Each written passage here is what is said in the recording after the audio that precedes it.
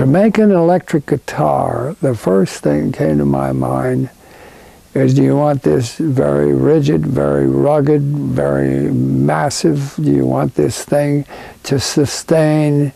Or would you like to make it where it was soft and had all the personality of a Stradivarius? Well, just what do you want to do with this electric guitar? So I picture a string and I say, well, tell you what I'm going to do. And so I got the six kids, uh, the five myself, to borrow a wagon. And there was no horse with this wagon, so we just took the wagon over to the railroad track, took a piece of railroad track that they had cut out, maybe two feet long.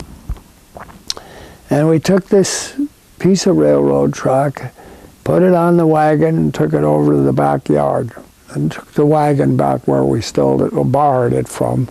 And uh, then I strung, put a string with, with uh, two spikes and put that string there, and then I had to find a way of reproducing the sound on the string. So it was very simple. It was the other half of the telephone. And so instead of the ear, the earpiece with the diaphragm, I just peeled the diaphragm off and stuck that under the strings, and lo and behold, I got a pickup. So I placed it under the string, but it's going to go under two experiments. One was going to be the steel railroad track with the, with the spikes. The other one was going to be a piece of pine wood. And what's interesting about it is that the pine piece of wood just rolled over and died. And the railroad track come through with flying colors. So I ran to my mother and I said, Mom, I've got it, I've got it. She says, you solved the problem? Yep. I says, it's this piece of railroad track I got. And my mother says, the day you see a cowboy on a horse with a piece of railroad track, right? And where are you going to plug it in? oh boy, did she shoot me down. And so that was that was my problem. The steel railroad track was the way to go, but the piece of wood is where I'd have to go.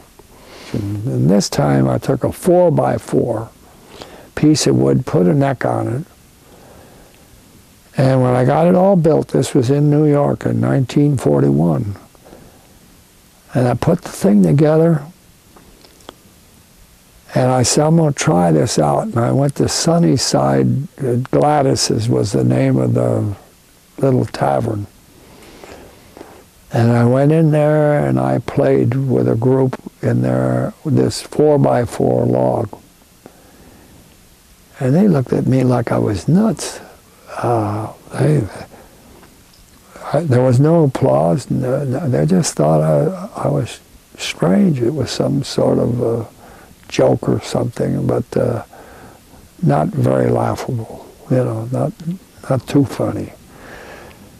And so I went home. I guess it sounded great, but uh, the response wasn't. So I thought about it, and I said, you know what I'm going to do? I'm going to put some sides on it like a regular guitar. I did. So I made the two sides for the guitar, clamped them on to the log, uh, to the four by four log. Went back on a Saturday night, same place, played the same song, The Sheik.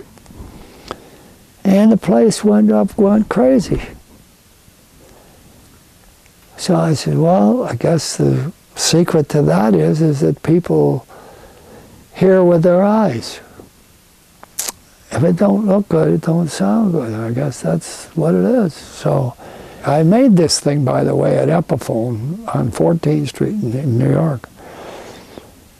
And I made it on a Sunday because there was nobody there and I could run the machinery and the night watchman was there and he'd show me where the parts are and everything. And Epiphone was glad to see what I had on my mind.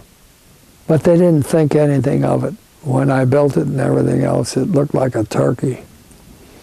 I don't know why we pick on a turkey. A turkey isn't all that bad. So what happened is funny is that I took this thing to to the Gibson people, and they give me yeah yeah yeah, and ten years go by. I keep shoving this under their arm, I keep under their face. I, I, I keep feeding him this this thing that it's a it's a good idea. And Gibson uh, does not respond to it. And it was 10 years later that Gibson calls me and says, Would you bring that thing in? We want to look at it again. Okay. And by this time, I have now thought of many refinements to the log. The log was just a matter of presenting the idea that this is what it should do. You don't have to have a piece of railroad track to make a guitar, but it has to be something that will cause it to sustain and da da da da. And so what happened with the log is that they said, we'll go with it. And when we went with it, the Les Paul guitar really took off.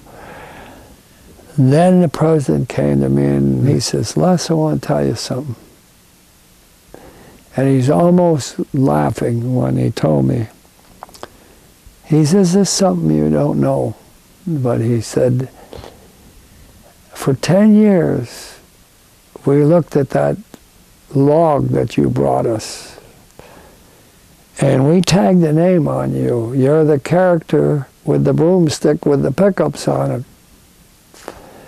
And for 10 years, that's what they called him, the broomstick with the pickups on it, with that Les Paul with his crazy idea.